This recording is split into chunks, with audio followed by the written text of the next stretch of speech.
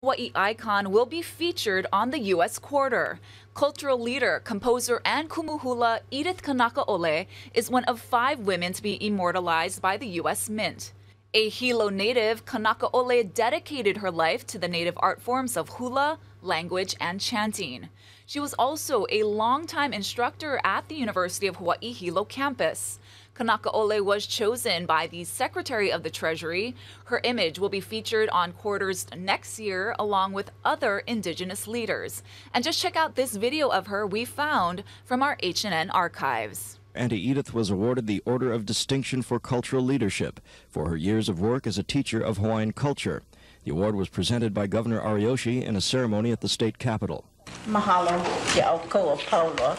Thank you to all of you who has made it possible for me to share with you and with your young people, with my young people. To me, it behooves us in our age to share with our young people, or they will not have it tomorrow.